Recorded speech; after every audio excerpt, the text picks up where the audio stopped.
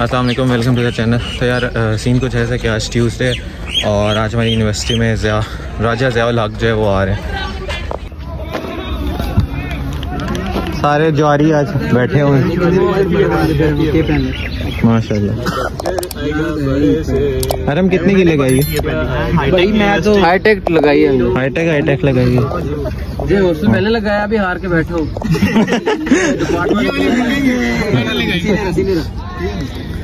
VC का room भी पकड़ो। हाईटेक यूनिवर्सिटी के ऊपर लगाया हाईटेक यूनिवर्सिटी दो पे ये पक्का जवारी है। तेरी बारी नहीं आई हरम देख रहा हूँ मैं गेम देख रहा हूँ। ओए हमारी ओए ओए हेलो। तो लूडो तो तुम लोग ताश खेल रहे हो वहाँ सिग्मा गैंग जो है वो देखो लूडो खेल रही।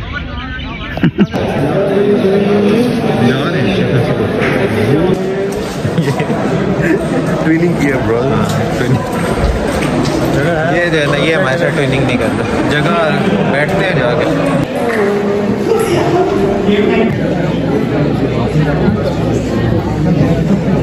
फिर आज क्वेश्चन पूछे देखते हैं यार वैलिड हो तो। मार जाते हैं बातों में चूसे मार जाते हैं। वो क्या कह रहा था लिबरल्स को अट्रैक्ट करने के लिए? हाँ मतलब इन मुझे ये लगता है यार मेरा पर्सनल ओपिनियन हो सकता है ना यूथ क्लब के बारे में। मतलब सब नहीं उनमें कुछ अच्छे बंदे भी हैं जिस तरह वो तोहा तोहा तोहा जो है वो मतलब सिर्फ़ वो बात करता है जो पहुँचानी चाहिए ना। लेकिन अट्रैक्ट करने के लिए ये जो हरकतें करते हैं ना ये मुझे ये मुझे ये, ये मुझे बहुत बॉन्डी लगती है ना फॉर एग्जांपल मतलब आप यार जो बाई चॉइस आना चाहे उसको रखो ना। आप क्यों? खैर देखते हैं आज। अली जो है वो खुश होता है। यूथ क्लब से बड़ा जो है ना ऐसे ज़बरदस्ती खींच के लाए। Six we have sixty minutes Asad always busy in phone Asad रोज़ों में तो बख्श दे गुनाह है। हाँ नहीं मैं नहीं नहीं नहीं अब तो दिखाएगा अब तो दिखाएगा। देख तो मैं ये कह रहा हूँ ना सी आ रहा है क्लासेस अरेंज कर रहा है हमारे लिए मसला बना देता है। शायद दिखा दे रहा। देखो। अच्छा। बच्ची का नाम बासित रख लेता हूँ पता नहीं चलेगा। उस दिन जोंग रखा हुआ है इसके पापा कहते हैं ये क्या ये ये कौन सा पैकेज है दिल भेज क्या टाइम हो गया? सवा नौ हो गया इन्होंने साढ़े नौ तक कुछ नहीं करना। दस बजे क्लास है बेहतर है। ये लेके जाने। Still no sign off Raja ji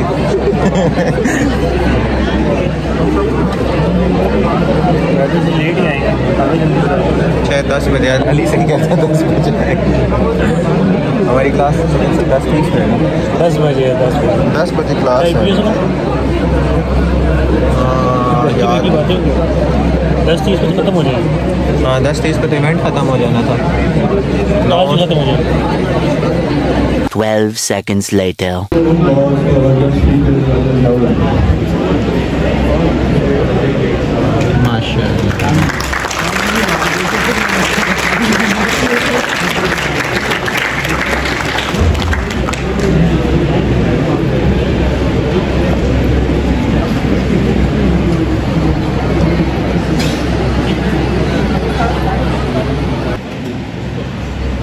Welcome him on the stage with a huge round of applause.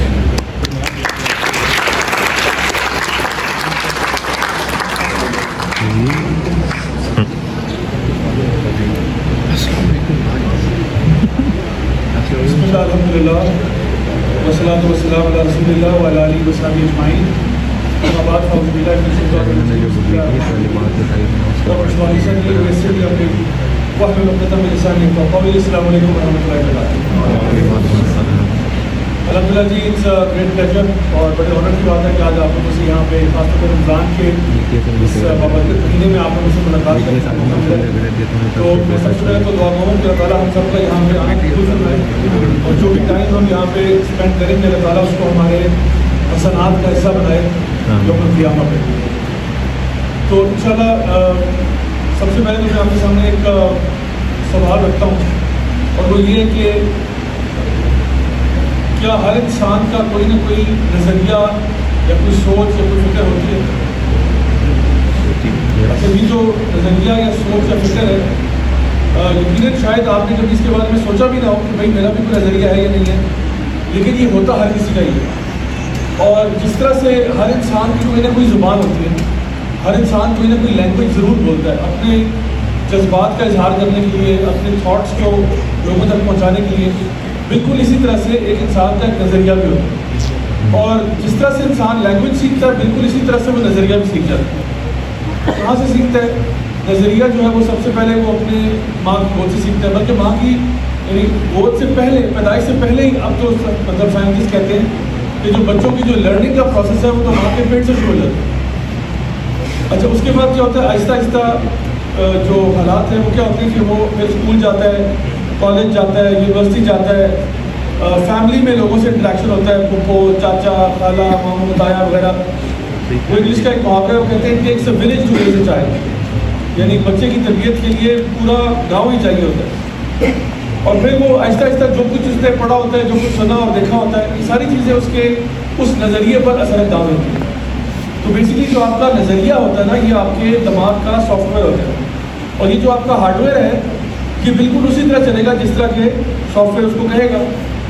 Software अगर अच्छा इंस्टॉल हुआ हुआ है हार्डवेयर की ऑटोमेटिकली हरकत ठीक हो जाएगी। आपका सॉफ्टवेयर अपडेट कर लेकिन प्यार और वैसे ये सॉफ्टवेयर अपडेशन का process इसका सॉफ्टवेयर अपडेट ज़रूरी। ना चाहते हुए भी चलता रहता है। ये वैसे गला फॉर एग्ज़ाम्पल एक का में वो कहते हैं कि जी आजकल नेकी का ज़माना नहीं है। ये जुमला कभी सुना आपने पहले? यस सर आजकल नेकी का ज़माना नहीं है। अच्छा एक तो होता है ना इंसान ने बाय द वे कह दिया आजकल नेकी का ज़माना एक है वो बाकायदा तौर पर इसको बिलीव करता है। और ये उसकी फ़िक्र है ये उसका ये उसका नज़रिया बन चुका है। तो वो क्या कहना चाह रहा है? दरअसल वो कहना चाह रहा है कि नेकी करने से आजकल फ़ायदा नहीं होता। अगर आपने कोई काम करवाना है तो वो नेकी से नहीं होगा। नेकी अगर आप करोगे तो नेकी का बदला नेकी में नहीं मिलेगा आपको। ठीक है? या शायद वो ये कहना चाह रहा है कि इसका इन्वर्स ट्रू होगा कि आजकल नेकी का ज़माना तो है तो ज़माना फिर आजकल बदमाशी का है। जब तक आप दो नंबर काम नहीं करोगे अंडर द टेबल डील नहीं करोगे किसी के ऊपर प्रेशर नहीं डालोगे पावा नहीं लगाओगे तो काम नहीं होगा। और यार नहीं तो थोड़ा सा तो हो। अक्सर करते तो हैं हैं टेबल के नीचे से असाइनमेंट्स और तो मैं नहीं हो पता यार काम में क्या होता है? ऐसा थोड़ी होता है काम आप कर सकते हो। अच्छा ये जो फिर है वो नेकी वाले काम करेगा या बुराई वाले करेगा? बुराई। कौन से करेगा? बुराई वाले। बात समझ में आ रही है बात तो हार्डवेयर का ताल्लुक सॉफ्टवेयर के साथ। अच्छा फिर इसी तरह से मेरे पास स्टूडेंट्स आते रहते हैं अपने मसले मसाइल लेके। हम कोशिश करते हैं ताजे से ताज जितना हो सके डील कर लें। तो एक बड़ा कॉमन सा मसला है एक लड़का मेरे पास लेके आया इन पर्सन आज से कुछ साल पहले। शायद आपने इसके बारे में सुना होगा उसे कहते हैं प्यार में नाकामी यकीन हाईटेक में तो किसी को नहीं हुई होगी तो मैं बाहर की बात कर रहा हूँ। किसी को हाँ। तो वो मेरे पास आया कहता है कि जा भाई मैंने ज़िंदगी में कुछ सीखा है। मैंने कहा क्या सीखा तुमने? कहता है मैंने ये सीखा है कि बस अब किसी का एतबार ना करना मैंने कहा ये क्या बात हुई?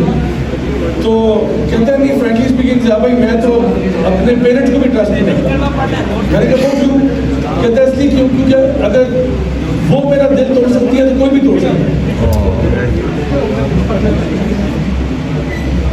अच्छा छोटी सी अनाउंसमेंट है जी, जो लोग पीछे खड़े आप आगे आगे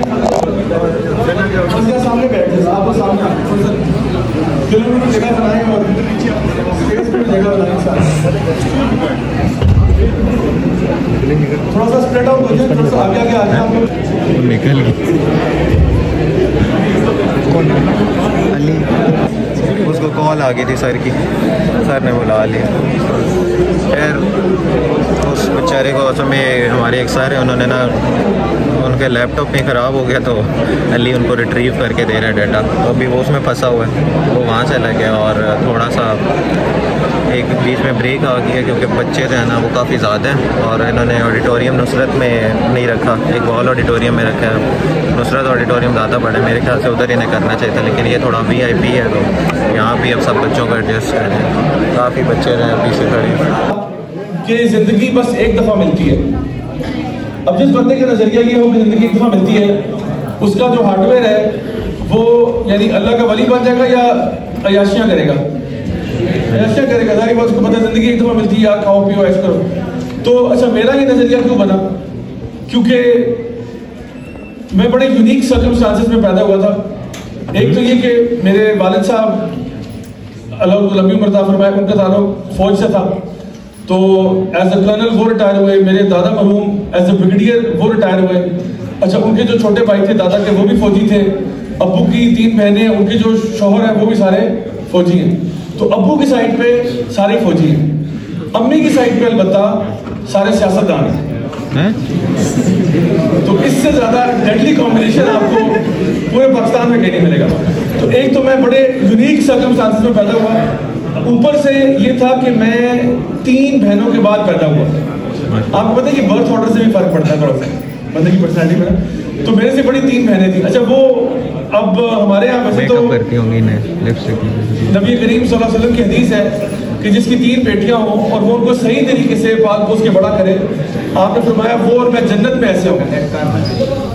तो वो तो बड़े ऑनर की बात है। लेकिन हमारे यहाँ बहरहाल कुछ ऐसा कल्चरल मसले चल रहे हैं कि बच्चियों के होने पे यकीनन लोग उनको ज़िंदा तो नहीं दफन करते थे लेकिन फिर भी चेहरे मुरझा जाते हैं और लोग जो है ना अभी भी उस लेवल पे नहीं पहुँचे जिस लेवल पर होना चाहिए था, क्योंकि दीन की तालीम तो बिल्कुल और है। तो मेरी अम्मी मुझे बताती है कि जब मेरी सबसे बड़ी बहन पैदा हुई थी तो उस टाइम पे अम्मी बहुत एक्साइटेड थी कि अल्लाह उनको औलाद दे रहे हैं, वो बहुत खुश थी। और ख़ास तौर पे वो लड़की जिसने सारी उम्र गुड़ियाओं से खेला हो, अल्लाह उसको अपनी गुड़िया दे दे तो कितनी खुशी की बात होगी। लेकिन अम्मी कहती है, जब मेरी पहली बेटी पैदा हुई तो बजाय के लोग कॉन्ग्रेचुलेट करने के आ रहे हैं, लोग कॉन्सलेशन के लिए आ रहे हैं। यानी ये ना, मुबारक हो आपकी बेटी हुई, ये नहीं। लोग कह रहे हैं अच्छा बेटी हुई है, चलो कोई बात नहीं, अगली दफ़ा बेटा हो जाएगा। यानी जैसे किसी की सप्ली नहीं आ जाती, कि अच्छा फेल हो गया बेटा, कोई बात नहीं, अगली दफ़ा पास हो जाओ। तो अम्मी बड़ी हैरान कि ये कौन सा तरीकाकार है? मतलब कि बजाय के लोग उनको कंग्रेचुलेट करें, वो कह रहे कोई बात नहीं बेटा, ऐसा होता रहता है। ऊंच नीच तो होती है ज़िंदगी ऊंच नीच क्या बात है? मैं तो खुश हूँ। अच्छा खैर एनीवे दो महीने के बाद, यानी अम्मी कहती है कि मैं आहिस्ता आहिस्ता स्टेबल होना शुरू हुई कि जी, ये क्या मामला चल रहा है लोग, इस तरह की बात। है अच्छा अब तकरीबन दो साल गुजर गए, अब दोबारा से अम्मी एक्सपेक्ट कर थी और दोबारा अल्लाह ताला ने एक और बेटी अता फरमा दी। अच्छा अब लोगों का रवैया ज़रा ज़्यादा शदीद हो गया। पहले भी शदीद था अब ज़्यादा शदीद हो गया। अब लोगों ने कहा यकीन है कि कोई तुम्हारे साथ मकाफात अमल हो रहा है। तुम्हारे गुनाहों का नतीजा है कि अल्लाह तुम्हें बेटियाँ दे रहा है और तुम तोबा करो इस्तफा। अब अम्मी और परेशान हो कि भाई ये क्या मामला चल रहा है? फिर अभी कहती है कि दो साल मजीद गुजरने के बाद अल्लाह ताला एक और बेटी अता फरमाता है। इस वक्त तो लोगों ने कहा भाई खुदा का वास्ते बस कर दो तुम्हारा तुम्हारी किस्मत ही खराब है। तुम्हारा मुकद्दर ही खराब है तुम अब बेटा बस कर तो अब अम्मी बताती है कि वो मजीद डिप्रेशन में चली गई। सो फर्दर टू इयर्स के बाद अब दोबारा अम्मी एक्सपेक्ट कर रही है। और इस दफ़ा मुझे एक्सपेक्ट कर रही थी तो अम्मी मुझे कहती है कि उस टाइम पे बहुत ज़्यादा डिप्रेशन बहुत ज़्यादा एंजाइटी अभी अपने छठे महीने में थी प्रेगनेंसी के कि एक हमारी दूर की रिश्तेदार है मम्मी के पास आई कहती है कि बेटा इस दफ़ा कोशिश करना कि बेटा हो। अब मेरी अम्मी सोच रही है कि मैं छठे महीने में कौन सी कोशिश करूँ। अच्छा मैं C M H hospital Rawalpindi में पैदा हुआ था। तो अम्मी बताती है कि अम्मी ने ना ना अल्ट्रासाउंड करवाया, ना चेक करवाया। अम्मी ने कहा, मैंने पता ही नहीं करवाया कि लड़का हो रहा है या लड़की हो रही है, क्योंकि इतनी टेंशन थी। इतना वो ऊपर जो चीज़ हावी हुई थी, कहते मैंने पता ही नहीं कराया, बस मैं अल्लाह से दुआ करती थी अल्लाह, नेक औलाद हो, सेहतमंद हो, वगैरह वगैरह। बस इसके अलावा मैं कुछ कहती नहीं थी। और टेंशन इतनी थी कि अगर दोबारा चौथी दफ़ा भी बेटी होगी तो पता नहीं उन्होंने मेरे साथ क्या करना। तो बहरहाल, अम्मी कहती है, मैं इंतहाई वो कहते हैं ना कि I was not in the right state of mind तो जब मैं पैदा हुआ तो अम्मी कहती है कि डिलीवरी के फ़ौरन बाद नर्स मेरे पास आई और कहती है कैस करें क्या हुआ है? तो मेरी अम्मी कहती है, जो भी हुआ अपने पास रखो. तो नर्स कहती है, अगर मैं कहूँ बेटा हुआ है तो फिर अभी कहती है, हाय, माँ, सदके मेरा बेटा ले आओ मेरे तो खातिनों के साथ ये मेरी इब्तदा थी। और मेरी बहनें आज तक मुझे इस बात पे कोसती हैं कि तुम्हारे आने की वजह से ना हमारा काम खराब हुआ है। हाँ क्योंकि जब तक तुम नहीं थे लाइफ बहुत अच्छी थी। जैसे तुम ज़िंदगी में आए तो सारी टेंशन वहाँ से निकली और यकीन ये बहुत अनफेयर बात है इंतहाई गलत बात है। लेकिन चूँकि मुझे इसका फ़ायदा हुआ तो मैं थोड़ा होता हूँ वाला इसके लिए कौन तो उसके इज़्ज़त और जिल्लत देने वाली जात तो अल्लाह की लोगों को नीचे दे दे। लेकिन बहरहाल मैं आपको बताना चाहता हूँ कि हमारा माइंड सेट क्या है? सो मैं अब इन सर्कमस्टांसेस में पैदा हुआ माँ बाप का बहुत लाडला था। एक तरफ़ पाकिस्तान की अफवाज है दूसरी तरफ़ पाकिस्तान के सियासतदान हैं। बीच में मैं हूँ ऊपर तीन बहनें हैं। अलहमदुलिल्लाह ज़िंदगी बहुत अच्छी है। तो बहुत ज़्यादा यानी वो स्पॉइल्ड ब्रांड बनाने का जो फॉर्मूला होता है ना वो ये फॉर्मूला है कि जो बच्चा मांग रहा है उसको आप दे दें। तो मेरे लिए तो यही मेरा सॉफ्टवेयर तो ये था भाई ज़िंदगी ऐशी का नाम है। ज़िंदगी एक दफ़ा मिलती है खाओ पियो ऐश करो लुट मचा करो तो बहुत सारे उठान चीज़ों में पड़ गया वो मुझे डिटेल में जाने की ज़रूरत नहीं है। माशाल्लाह आप लोग बड़े समझदार लोग हैं। माशाल्लाह। तो मैं इंग्लैंड चला गया थी बैचलर्स करने। पहले तो यहाँ से- यानी ना इनिशियल एजुकेशन पाकिस्तान में ही हुई। उसके बाद मैंने बरतानिया जाने का फैसला किया। वहाँ से मैंने जी आईटी के अंदर जो है बैचलर्स किया इंग्लैंड से। उसके बाद मैं ऑस्ट्रेलिया चला गया। वहाँ से मैंने मास्टर्स किया इंफॉर्मेशन टेक्नोलॉजी एंड मैनेजमेंट में। उसके बाद दुबई चला गया, वहाँ पे कुछ अर्सा काम किया डिफरेंट मल्टीनेशनल के साथ। उसके बाद अचानक से मौलवी हो गया। तो अचानक से मौलवी की भी एक और कहानी है फॉर अनदर डे इंशाल्लाह तो क्योंकि कुछ चीज़ें लाइफ में होती हैं, वो आपको ना सोचने पे मजबूर कर देती हैं। अच्छा सो मैं आपको बताऊँ कि जो मेरा नज़रिया था कि ज़िंदगी एक दफ़ा मिलती है, मैं बिल्कुल उसके ऊपर चल रहा था। मैं जब इंग्लैंड गया तो उस टाइम पे ना थोड़ा सा मुझे, मैं हमेशा से थोड़ा सा एक्सट्रीम स्पोर्ट्स का शौकीन रहा हूँ। तो इंग्लैंड जब मैं गया तो जो सबसे पहला क्लब जो मैंने ज्वाइन किया था अपनी यूनिवर्सिटी में, वो था स्काई डाइविंग क्लब क्योंकि मुझे ना जहाज़ों से छलांगे मारने का बहुत शौक था। तो मैंने ये शौक बहुत हद तक पूरा किया और मैंने अपने वालदेन को नहीं बताया कि मैं जहाज़ों से छलांगे मार रहा हूँ। पढ़ तो रहा हूँ, पढ़ाई भी चल रही है, लेकिन साथ साथ ये भी काम चल रहा है। वो वापस आके फिर मैंने अम्मी को ना कुछ पिक्चर्स दिखाई। और मुझे याद है जब मैंने पहली जंप मारी थी, वो साढ़े तीन हज़ार फुट से छलांग मारी थी जहाज़ से। तो मेरा एक दोस्त था, उस दिन उसने जंप नहीं करनी थी। तो उसको मैंने कहा कि I will be the third jumper from the plane total आठ जंपर्स थे उस दिन जहाज़ के अंदर। तो मैंने कहा, तीसरा नंबर पे मैं हूँ। तो जब ये पहला जंपर निकलेगा, दूसरा, तीसरा तो तीसरे पे तूने तस्वीर खींच खींचनी है मेरी। अब देखें, साढ़े तीन हज़ार फुट की बुलंदी पे क्या तस्वीर आई होगी? कुछ सोचा ज़मीन पे बंदा खड़ा कैमरा लेके, ना कोई जूम है, ना कुछ है। तो लेकिन मेरे लिए उस तस्वीर की सेंटिमेंटल वैल्यू थी। ठीक है ना? पहली दफ़ा जब राजा साहब हवा में मोलक हुए थे। पहली दफ़ा जब राजा जी ने दूसरा भी चुक दिया था। तो मेरे लिए वो सेंटिमेंटल वैल्यू थी। तो मैंने उसको कहा अच्छा वो तस्वीर जो आई, उसमें लिटरली क्या था? बस वो इतना सा साया सा नुमा जहाज़ नज़र आ रहा है और उसमें एक छोटा सा डॉट नज़र आ रहा है, जो कि मैं था उसमें। तो वो मैंने जब अम्मी को तस्वीर दिखाई ना, क्योंकि अब तो हो गया ना, अब तो जो हो गया, होना था हो गया। तो मैंने अम्मी को पिक्चर दिखाई मैंने कहा अम्मी इस पिक्चर में क्या नज़र आ रहा है आपको? अम्मी कहती है बेटा ये क्या है? तो आसमान ही है। मैंने कहा नहीं गौर से देखें। कहती है हाँ ये कोई जहाज़ है शायद? मैंने कहा जी उसका जहाज़ ही है। मैंने कहा अम्मी ये जहाज़ के साथ आपको एक नुकता नज़र आ रहा है? तो कहती है हाँ ये क्या है? मैंने कहा ये मैं हूँ। तो अम्मी ने मुझे गाली निकालते हुए कहा तुम जहाज़ से बाहर क्या कर रहे थे? मैंने कहा मैं लेने गया। फिर वापस आ गया था मसला। तो फिर अम्मी ने मुझे बहुत डांटा कि तुम हमेशा वही करते हो जो तुम्हारी मर्ज़ी होती। है और ये मैं बताऊँ, ये वाकई बात सच है। मैंने हमेशा वो किया जो मेरी मर्ज़ी है। बाद में अम्मी अब्बू को बता दिया तो और बात। अब्बू मुझे डायरेक्टली कहते थे कि मेरी बात कान खोल के सुनो, ये गाड़ी यहाँ से नहीं निकल रही। समझ आ रही मेरी बात? ये गाड़ी यहाँ से नहीं निकल रही। जी, बिल्कुल ठीक है। मैं कौन होता हूँ निकालने वाला गाड़ी? जैसे अब्बू उधर के गाड़ी निकाली, फरार हो बाद में देखा जाएगा क्या होगा देखा जाएगा। जो चित्रौल होगी जो डांट पड़ेगी वो बाद में निकल जाएगी। लेकिन उस टाइम ये तो तेरे वाली ये भी गाड़ी निकाल लेता है। आने के बाद मैंने कहा अब क्या करूँ? फिर मैंने कहा आसमान तो देख लिया अब समुंदर देखना चाहिए। तो मैं इंग्लैंड से मालदीव आइलैंड चला गया। स्कूबा डाइविंग करने के मुझे ना मछलियों के साथ तस्वीरें खिंचवाने का शौक पैदा हुआ अचानक से। तो मैंने एक वाटर प्रूफ कैमरा लिया समुंदर के अंदर होता जन हो गया। जहाँ मुझे मछली नज़र आती है मैं कहता कम ऑन गाइस मछलियाँ में कहती है कौन पागल जो है ये साथ दाखिल हो गया हमारे यहाँ जल परी वो कुछ मेरे पास पिक्चर्स आज भी पड़ी हुई हैं मछलियों के साथ. अच्छा फिर मैंने सोचा अच्छा अब क्या करूँ? फिर सोच में पड़ा मैंने यार ऐसा करते हैं हम्म, किसी ऊँचे से पुल से जाके छलांग मारते फिर मैंने गूगल पे सर्च किया ऊँचा सा पुल। वो मुझे मिला थी साउथ अफ्रीका में। साउथ अफ्रीका में एक पुल है पोर्ट एलिजाबेथ के पास उसका नाम है ब्लो क्रांत ब्रिज ये दुनिया का सबसे ऊँचा पुल है। According to the Guinness book of world records वहाँ से मुझे छलांग मारने का अवसर हासिल हुआ। ठीक है बजी जंपिंग थी वहाँ से। तो वो भी बड़ा अमेजिंग एक्सपीरियंस था।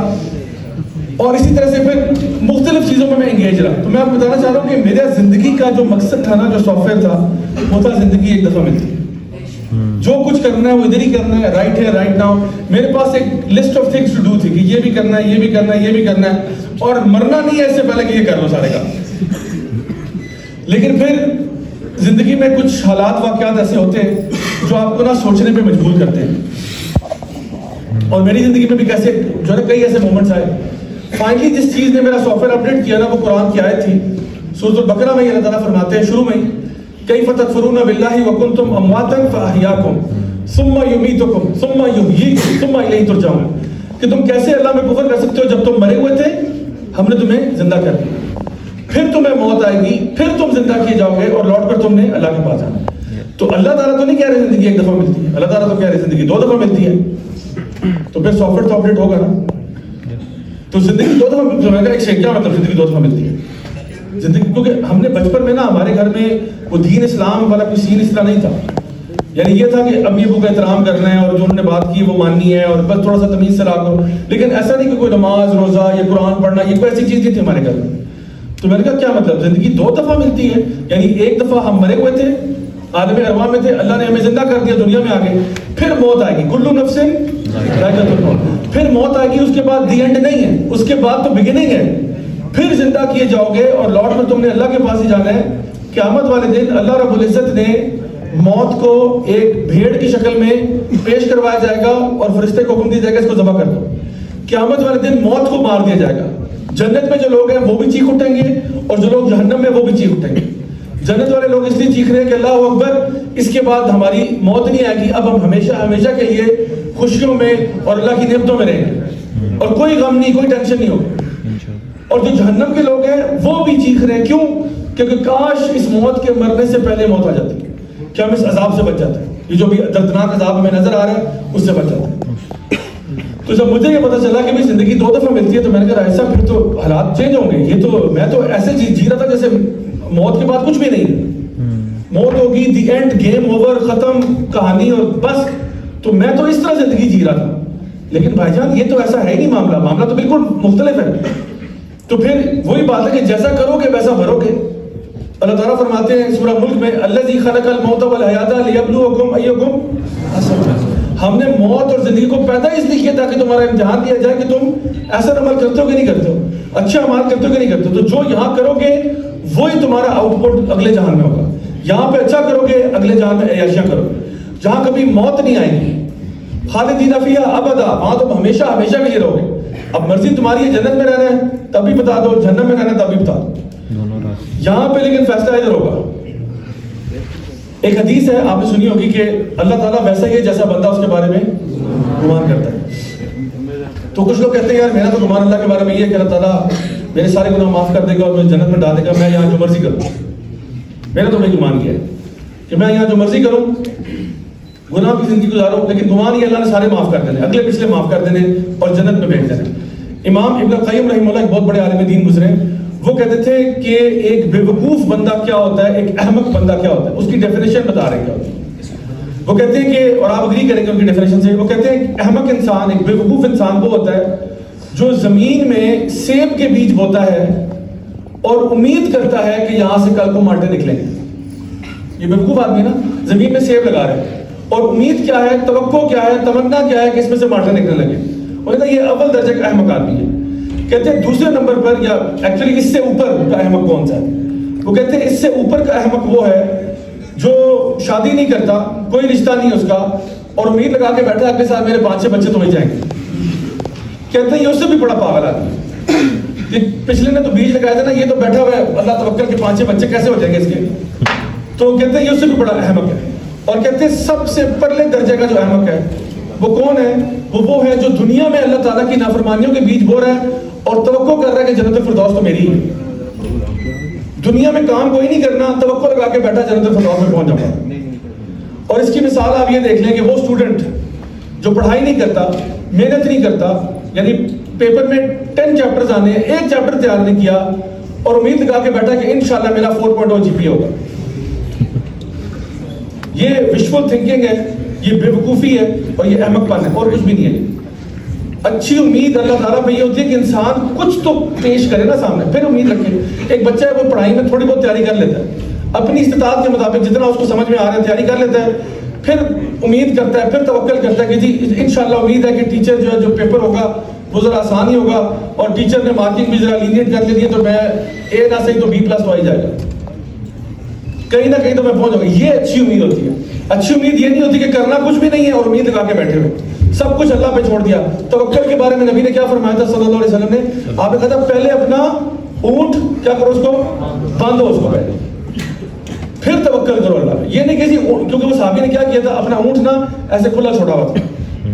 ऊँट है अच्छा इसी तरह से एक दफ़ा मुझे स्टूडेंट ने जगह पे पूछा कि भाई, ये बताएँ कि यूट्यूब हलाल है या हराम है? क्या फतवा लगाए डिपेंड करता है यूज़ पे यूज़ पे डिपेंड क्या यूट्यूब पे बाहर टिकटॉक पे तो मैं शायद हराम का ही लगा।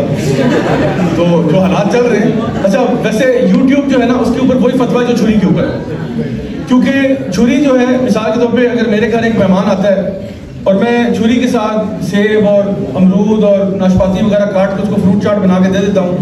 तो ये मैंने छुरी का अच्छा इस्तेमाल किया, बुरा किया। अच्छा इस्तेमाल अच्छा वही मेहमान मेरे घर आया मैं छुरी लेके हमलावर हो जाता हूँ।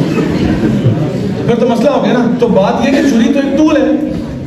छुरी को तो कुछ नहीं है टूल है। अच्छे काम के लिए भी इस्तेमाल हो सकती है, बुरे के लिए भी। मैं उसी छुरी से बिस्मिल्लाह ऊपर पढ़ के जानवर हलाल कर देता हूँ। बेहतरीन बात है। हलाल और तैयब खाना है। तो इसी से किसी को मर्डर भी किया जा सकता है।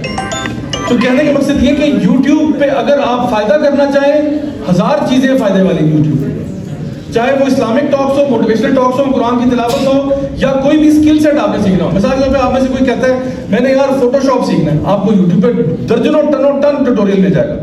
किसी ने फिजिकली फिट होना है, वो कहता है, ये वो ट्यूटोरियल मिल जाएँगे। आपने खाना बनाना है, उसकी रेसिपीज़ आपको सारी मिल जाएँगी। तो बहुत सी चीज़ें हैं आपकी लाइफ के लिए और आपके हेयर आफ्टर के लिए जो आपको यूट्यूब से मिल सकती है। लेकिन लेकिन, वो कंटेंट भी है जो आपको अखलाकी तौर पर खराब कर सकता है और कम अज कम वो कंटेंट भी है जो एट मिनिमम ये कहा जा सकता है कि टाइम वेस्टिंग वाला कंटेंट है। ना उसमें आपकी दुनिया का फ़ायदा है, ना आपकी आखिरत का फ़ायदा है। बड़े आजकल सोशल मीडिया इन्फ्लुएंसर्स जी अपने अपने खानदानों को डिस्प्ले करा रहे हैं। ये देखिए उससे आपको फ़ायदा हो रहा है? आप अपने खानदान आज मैंने बर्गर खाया, आज मैंने पराठा खाया, आज मैंने इससे आपकी सिर्फ़ क्या, ना ना आपकी दुनिया बन रही है, ना आपकी आखिरत बन रही है। बस चस्के के लिए लोग देख रहे हैं अच्छा जी इनकी ज़िंदगी में देखते हैं क्या हो रहा है। क्या फ़र्क पड़ता है? भाई, तुम्हारी अपनी ज़िंदगी में कॉम्प्लिकेशन पड़ी हुई तुम अपनी ज़िंदगी को हैंडल करो तो ये क्या है? या तो अच्छा कंटेंट है, या बुरा कंटेंट है, या कम अज कम टाइम वेस्टिंग कंटेंट है। और इमाम इब्न कय्यम रहमतुल्लाह फरमाते हैं कि wasting time is worse than death time को जाया करना मौत से भी बदतर चीज़ है। क्यों? क्योंकि death only separates you from the life of this world whereas wasting time separates you from Allah सुब्हानहू व तआला मैं इस्लामी जमहूरिया पाकिस्तान से अच्छा इस्लामी जमहूरिया। सबज पासपोर्ट वाले सलूट मानो जी इनको ये इस्लामी जमहूरिया से है। माशाल्लाह माशाल्लाह जी। आइए आइए आइए। आपका नाम क्या है? जी, मेरा नाम मोहम्मद है, मेरा नाम अहमद है, मेरा नाम फातिमा है, मेरा नाम आयशा वाह वाह वाह सुभान अल्लाह जी। इनको जी जन्नत फिरदौस में सीधा सीधा ले। जाए सवाल पूछने की ज़रूरत नहीं है। ऐसा नहीं होगा। वो कहेंगे, जो भी है, वो सबसे पहले कहेंगे, अपने अमाल निकालो भाई। जब इंसान कब्र में जाएगा ना तो कबर में सिर्फ़ अमाल साथ जा रहे हैं और ना पैसा जा रहा है, ना दौलत, ना माल, ना कुछ भी। सिर्फ़ आपके अमाल साथ जाएँगे और यही अमाल डिटर्मिन करेंगे कि आप किधर पहुँचेंगे, जन्नत में या किसी और जगह तो आपने आज ये सोचना है कि मैं कौन सी चॉइसेस मेक कर रहा हूँ कि मैं उस दिन सही जगह पे पहुँच जाऊँ। और वो फैसला आज होगा। दिन के अंदर मैं आपको बताऊँ, आपको लेट सपोज़ एग्जांपल एक नंबर मैं कहता हूँ। दिन में आपको लेट से 20 दफ़ा आपका टेस्ट होता है, मिसाल के तौर पर क्योंकि अल्लाह ताला फरमा रहे हम तुम्हें ज़रूर आजमाएँगे। अल्लाह जी खलकल मौत वल हयाता लियबलुवकुम अय्युकुम अहसनु अमला तो दिन में आपका 20 दफ़ा टेस्ट होता है। कभी टेस्ट पाँच नंबर वाला होता है, कभी दस नंबर वाला, कभी पचास वाला, कभी सौ वाला, कभी हज़ार वाला भी हो जाता है। अच्छा ये टेस्ट जो है ना, ये मुख्तलिफ़ नौयत के होते हैं। अल्लाह ताला देखता है हर टेस्ट में कि तूने चॉइस क्या मेक की है। और हर टेस्ट ही मल्टीपल चॉइस होता है। एमसीक्यूज होते हैं सारे। मसलन, किसी के यहाँ फौदगी हो गई ना, किसी बहुत ही गरीबी की, ये तो बहुत बड़ा टेस्ट है। किसी का बहुत शदीद किस्म का माली नुकसान हो गया। अब तुम क्या करोगे? किसी बंदे को कुछ प्रॉब्लम आया किसी को कुछ आया मिसाल के तौर पर आप सुबह बना रही थी ना तो बिरयानी के बिल्कुल ऊपर ना जो देख थी वो एक शेल्फ था। उस शेल्फ के ऊपर इतना बड़ा एक जार था जिसमें लाल मिर्च पाउडर फॉर्म में पड़ी थी। वो पता नहीं क्या हुआ वो गलती से नॉक ओवर हो गया वो सारी मिर्चें जो है वो बिरयानी में जा चुकी हैं। अब ये कोई आम बिरयानी नहीं है। ये न्यूक्लियर बिरयानी बन चुकी है। को पता नहीं चला, अम्मी भी फ़ोन पे थी, अम्मी ने भी बात करते करते जो है चम्मच चला दिया अम्मी को पता नहीं चला। अच्छा अम्मी अब आपके सामने वो बिरयानी पेश कर दी गई है। और अब आप पूरी इंसानी तारीख के वो पहले इंसान बनने जा रहे हैं, जो इस बिरयानी को चखेगा। अजान की आवाज़ आई जी। अल्लाह अकबर अल्लाह अकबर की आवाज़ आई। आपने जी पहला चम्मच बिस्मिल्लाह करके मुँह में डाला और आपके नाक, कान, मुँह हत्ता कि आपकी आँखों से भी धुएँ निकल रुक जाए टेस्ट शुरू हो गया। ऑप्शन नंबर वन प्लेट उठा के दीवार पे दे मारे। ऑप्शन है, करने को कर सकते। अब आपकी अम्मी के लिए कुछ ऑप्शन खोल गए। अच्छा अम्मी के लिए ऑप्शन मैं बताऊँ, बड़े सिंपल होते हैं। अम्मी के लिए ऑप्शन होता है चूज़ योर वेपन अम्मी के साथ में ना वेपन लिस्ट अम्मी के सामने एक वेपन लिस्ट आती है, उसमें झाड़ू, बेलन, चप्पल, जूता, यानी उसमें मुख्तलिफ़ बर्तन, पांडा ये ये चीज़ें आ रही है। वो कहती है, अब इसको मैं किससे मारूँगा।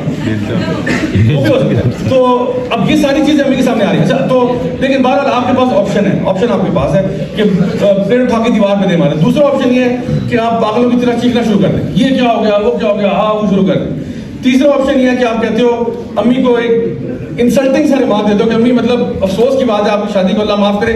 25 साल हो गए, लेकिन आज तक आपको ढंग की बिरयानी बनानी नहीं आई। अगेन आपकी अम्मी के पास कुछ ऑप्शंस खुल गए। और वो यकीन कीजिए, आप, आपके लिए कोई भी अच्छा नहीं होंगे। तो ये तीसरा ऑप्शन है। चौथा ऑप्शन ये है कि आप सिर्फ़ मम्मी को फैक्चुअल बात कर दें कि अभी यकीनन मैं कह सकता हूँ कि आपने मुझे मर्डर करने का प्लान ही बनाया होगा, लेकिन ये बिरयानी जो है ना, ये खाने के काबिल नहीं है। इसमें इतनी मिर्चें हैं, इतनी मिर्चें हैं कि अल्लाह माफ़ करे कि बंदा अगर ज़्यादा खा जाए तो मर ही जाए। तो आपने सिर्फ़ फैक्ट स्टेट किया है। ये आपका चौथा ऑप्शन है। पांचवा ऑप्शन ये है कि आपके बाकी में इसमें मिर्चें बहुत ज़्यादा है तो ऐसा करते हैं, बाद में ना मीदी मैं आपको ना हेल्प करता हूँ, इसको फिक्स करते हैं। शायद इसमें चावल मजीद डालने पड़ेंगे, दही वगैरह डालना पड़ेगा, ये इस वक्त खाने काबिल नहीं। और शायद छठा ऑप्शन हो सकता है कि आप कहते हैं कि चलो, बाद में मैं आपको फिक्स कर दूँगा, इस वक्त खाना बाहर से मंगवाते हैं, आज चले मेरी तरफ़ से ट्रीट है। तो याद रखें चॉइसेस आपके पास हमेशा होती हैं। आपने ये देखना है कि सबसे अच्छा अमल कौन करता है। तो मैं ये कहता हूँ कि आमतौर पर ना ये जो ऑप्शन नंबर फाइव के आगे आगे होती है ना ये जरा काबिल कबूल रेंज में होती है। और उससे पहले वाली जो है वो बहुत ही फजूल ऑप्शन होती हैं। मैंने अपने लिए जो मैार रखा हुआ है, मैं कहता हूँ किसी भी सिचुएशन में मैं ये सोचता हूँ कि अगर मेरी जगह पर नबी करीम सल्लल्लाहु अलैहि वसल्लम होते तो आप कौन सी ऑप्शन देते? और ये आपको ना अक्सर अच्छी जगह पर पहुँचा देगा। मैं आपको बताऊँ नबी करीम सल्लल्लाहु अलैहि वसल्लम वो ऑप्शन लेते जो शायद हमारे पास ऑप्शन लिस्ट में भी नहीं। आप वसल्लम ताइफ जा रहे हैं, पत्थर मारे जा रहे हैं, लहू लुहान हो जाते हैं, जूतों में खून जम जाता है। इमेजिन करें आपके साथ अगर अल्लाह माफ़ करे, ऐसा हुआ होता। मेरे साथ होता ना, मैं आपको बताता मैं क्या करता। मैं वहाँ से अगर मुझे इस तरह पत्थर पड़ते ना कि मैं अल्लाह की बात कर रहा हूँ और लोग पत्थर मारे, मैं बाहर आता, फरिश्ते उतर आए जबरील अमीन आ गए पहाड़ का फरिश्ता उतर के आ गया किसी हुक्म दे, हम इस बस्ती को दो पहाड़ों के बीच में पीस के रख दें। मैं कहता रुक जाओ एक सेकंड सबसे पहले पत्थरों की बारिश करो इन पे। उसके बाद आग लगाओ इनको, उसके बाद जल्जले दो इनको, सैलाब भी डालो और फिर पहाड़ों के बीच में है। इनकी मजाल कैसे हो कि मुझे पत्थर मारे? ठीक है, मैंने क्या बिगाड़ा? मैं तो अल्लाह की बात करते क्यों ये रवैया लेकिन हमारे प्यारे नबी ने क्या कहा? कुछ नहीं कहना। कुछ नहीं कहना, क्योंकि मुझे इनसे तो नहीं, लेकिन इनकी अगली नस्लों से उम्मीद है कि वो अल्लाह ताला की तौहीद पर होंगे अल्लाह के मानने वाले होंगे यानी हमारे पास ना वो ऑप्शन शायद लिस्ट में भी नहीं है, जो नबी करीम वसल्लम ले एक शख्स आप सजदे की हालत में नमाज़ पढ़ रहे हैं नमाज़ पढ़ रहे और वो कैमल की जो अंतड़ियाँ ना इंटेस्टाइन्स ला के उनकी कमर पे ला के फेंक जो ना फेंक सोच सकते हो इंतहाई बदबूदार चीज़ भी है वज़न भी ज़्यादा है। क्लास नहीं लेगा? तो हमने ये देखना है कि भाई मैंने वैसे ये मेरे ख्याल से हमारा फ़र्स्ट सेमेस्टर है मतलब जिसमें हमने इतनी ज़्यादा क्लासेस मिस आप करा। लोग माशाल्लाह स्टूडेंट्स बड़े हो गए बड़े हो ज़िंदगी में गए। भी टेस्ट आएँगे आप लोगों के तो अल्हम्दुलिल्लाह ये भी आपके नामा में लिखा गया। यानी ये भी आपके नामा माल में लिखा गया कि आज ये बंदा अपनी मर्ज़ी से एक मौलवी को सुनने के लिए बैठ गया था। ये भी नामा माल इसलिए मैंने शुरू में आती दुआ क्या की थी कि अल्लाह से दुआ कि अल्लाह ताला हमारा यहाँ आना कबूल फरमाए और इसको हमारे हसनात में डाले क्या मतलब सबसे पहली दुआ मैंने ये की थी आते ही। कि हम अपनी मर्ज़ी से अगर आए हैं तो अल्लाह ताला कबूल फरमाए और अल्लाह ताला इसको हमारे हसनात में डाले। क्यामत के दिन हम भी कहें अल्लाह और चले बहुत बुरे काम हुए होंगे लेकिन एक ये काम अच्छा तो किया था मैंने। कि जहाँ मुझे पता था कि बात दीन की होनी है तो मैं वहाँ पे बैठ गया था। शायद मेरी इसलाह हो जाए शायद मैं बेहतर हो जाऊँ इंशाल्लाह। तो हर इंसान का हर लम्हा हर जगह पर जो टेस्ट आप कर रहे हैं ना ये सब के सब एक किताब में तहरीर हो रहे हैं और क्या के दिन ये मिल जाएगा।